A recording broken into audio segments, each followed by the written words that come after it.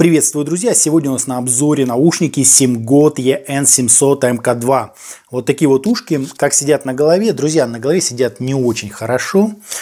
Вот эти вот заушины, они вытыкают сами наушники и пользоваться ими не очень комфортно. Вот именно с этими комплектными кабелями, да?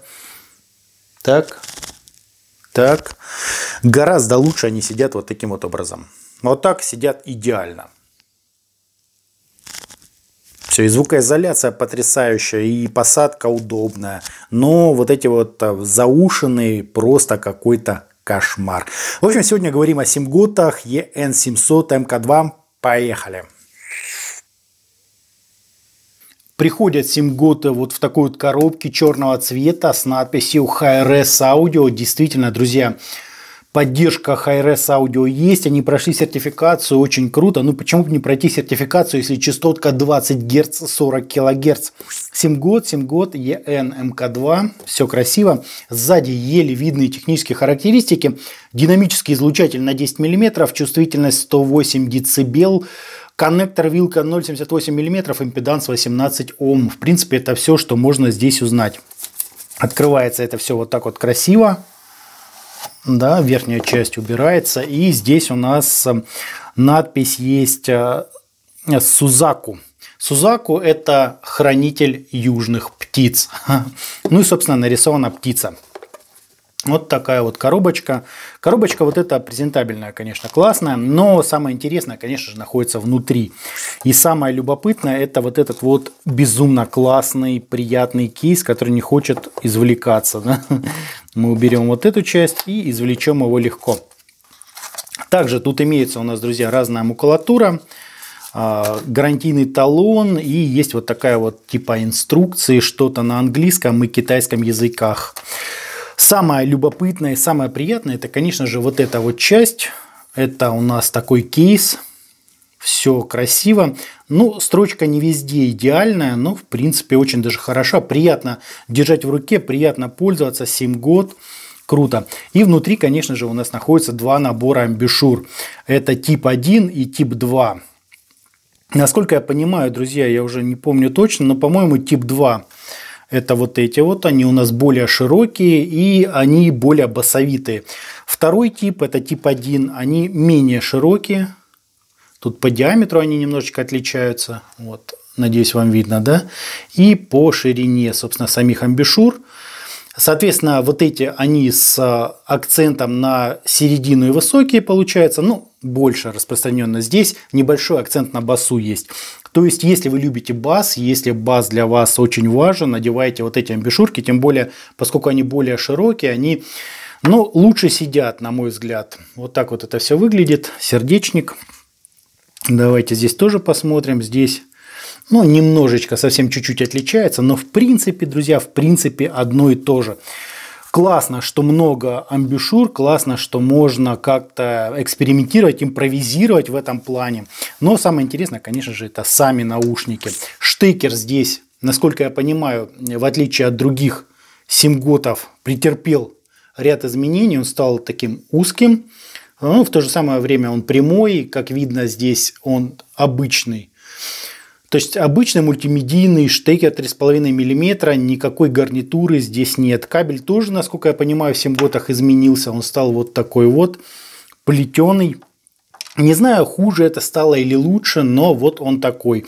Металлический делитель с надписью МК2, то есть это вторая ревизия, насколько я понимаю. И вот эти вот ужасные заушины. Заушины вроде бы как приятные, классные.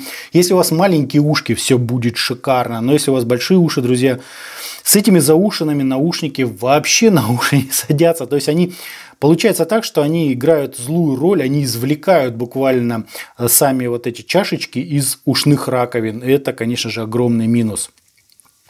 Сами наушники имеют вот такую вот вилочку, здесь розеточка, вот так вот они соединяются. Соединяются легко, в принципе, если сильно туда-сюда их не тыкать, прослужит достаточно долго. Здесь вот прозрачно. На самих заушных подписано левый или правый, и также на самом наушнике написано левый или правый, так что вы точно не ошибетесь. Что здесь мы видим? Ну, во-первых, мы видим, что есть э, фаска для того, чтобы удерживать хорошо амбишуру. Это здорово. Металлический корпус сзади вот так вот по-симготовски красиво. Ну, вот так вот здорово, да? Больше, собственно, ничего интересного. Есть э, компенсационное отверстие одно. Все симпатично, здорово. У меня они красного цвета бывают, я так понимаю, синего и, по-моему, зеленого. Не, серого и синего. Короче, каких-то разных цветов бывает. Так что можно, в принципе, себе выбрать. Вот так это все выглядит. В принципе, на мой взгляд, выглядит э, достаточно хорошо, но пора переходить уже, наверное, к звуку. В ходе прослушивания на разных источниках относительно SimGod EN-MK2 у меня сложилось четкое впечатление, что это отличный пример хороших наушников. Да, не чемпион, но они не стремятся побить всех и вся. Уверен, дают качественный звук без всяких сносок и условностей. В симготах нет уклона в микродетальность, но вообще говоря, детализация здесь в полном порядке. Нет такой какой-то родниковой прозрачности, однако любой инструмент отслеживается в треке без труда. То есть на каждую попытку придраться у EN700MK2 есть свой такой контраргумент, говорящий да, не идеально, но очень даже неплохо. Суммарно мы имеем скорее литую подачу с акцентами на средних частотах, и это я могу выделить как а, отличное огромное достоинство. Именно на средних частотах акценты и должны быть, поскольку именно там находится вокал, лидирующая партия, а подчеркивать аккомпанемент в виде какого-нибудь баса или тарелочек, это, ну, на мой взгляд, это гораздо хуже. Однако с басом Тут все в порядке. Он средний по скорости и динамике. А если надо вот подать глубины, как я уже говорил, одеваем соответствующие насадки и становится гораздо лучше. Появляется такой небольшой акцентик. Ну, приятный в принципе. Контрабас отрабатывает естественно, так же как и бас-гитара и синтез. Опять-таки рекордов не бьет, но хороший такой в меру динамичный бас. Средние частоты яркие, но без каких-то дополнительных усиленных эмоций. Их ровно вот как должно должно быть. Мне очень понравилось, как наушники отыгрывают духовые инструменты и какие-то сложные синтетические лиды. К звукам струн все-таки, друзья, есть небольшие претензии. Там хочется больше всего и деталей, и глубины проработки. Вокал здесь не утоплен и не выдвигается вперед, отыгрывает ровно там, где он и должен быть. Поначалу мне показалось, друзья, что наушники чуть-чуть не додают по ВЧ. Однако, судя по всему, реально показалось да, тут нет бритвенной резкости, но они не такие, не мягкие, а круглые. То есть э, вот ровно все по центру, не ударяясь ни в какие крайности. Колокольчики, тарелочки, другая перкуссия присутствуют в треке полновесно. Но благодаря правильному акцентированию не лезут к вам в уши, как какой-нибудь назойливый жук, а приятно дополняют картину своими там пейзажами, помогают раскрыться среднечастотным инструментом. Ну и подводя итоги, что я могу сказать, друзья? Я хочу еще раз декларировать, что Симгод EN 700 МК2 это реально хорошие ушки, без всяких но и почти. Однако, безусловно, друзья, есть ушки и еще лучше. Ну, вот такие вот Симготы EN 700 МК2. Интересно было ознакомиться, конечно, любопытные, приятные, хорошие ушки, динамические. Но вот не знаю, вот если бы они добавили сюда какой-нибудь арматурный излучатель, они добились э, какой-то большей детализации, и, на мой взгляд, это пошло бы в плюс. Однако вот Симготы, насколько я понял, они гнут свой звук, и звук у них вот, э, звук хороший, придраться к нему я не могу. Вот такие вот Симгод EN700MK2. Что думаете о них вы, пишите в комментариях.